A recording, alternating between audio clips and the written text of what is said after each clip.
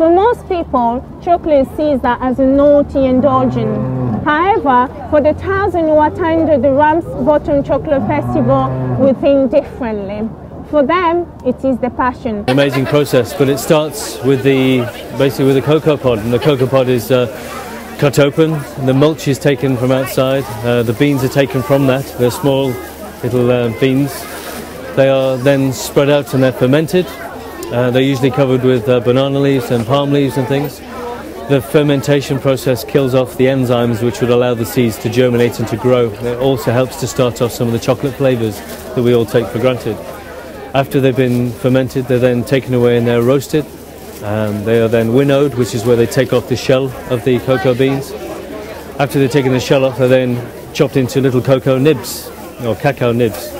The nibs are then ground up into a paste, and more cocoa butter is added, and a little sugar, some vanilla, and sometimes an emulsifier.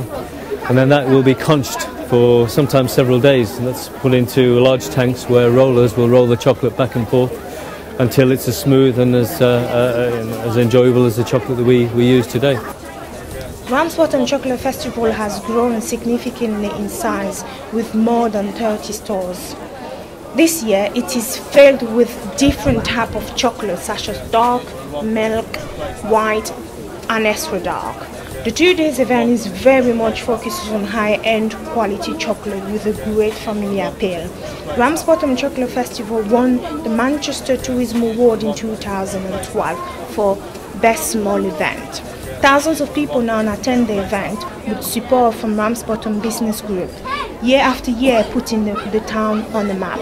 The event started back in 2009 when we tried to recreate the events I'd seen on the French Riviera and make Ramsbottom a renowned place for chocolate.